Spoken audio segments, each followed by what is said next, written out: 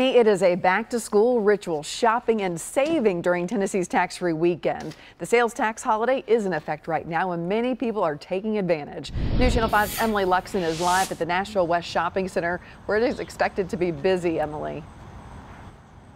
Well, that's right. It's already been a busy day at some stores. This is the 13th year Tennessee has held a tax-free weekend. And for many, as you mentioned, this is a great way to get ready to head back to class while saving some money. But for stores like Best Buy, it can bring a boost in business.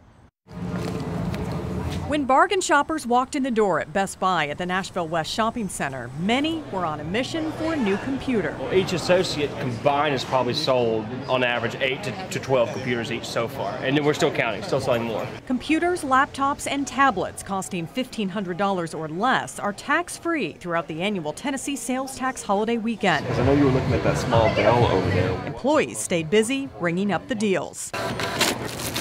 Grace Patrick picked up a new MacBook Pro that will come in handy during her freshman year in college. And the extra savings was a nice bonus. My mom was like, they're having tax free, so we got to get you a new computer because I've been wanting one forever, but they're just like so expensive. We are stocked and we are excited. At Walmart in Cool Springs, employees are ready to help customers stock up on back to school essentials. Over 300 items uh, back to school items are under a dollar. Clothing, school, and art supplies that are $100 or less per item are also exempt from state sales tax.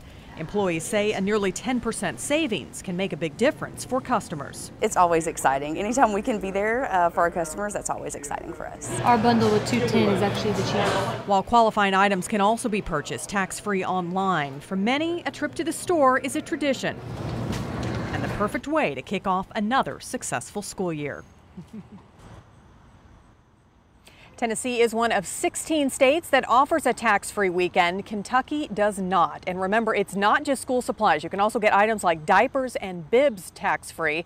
For a full list of items, just log on to newschannel5.com. The savings continue until 11:59 on Sunday. Reporting live in Nashville, Emily Luxen, News Channel 5. Thank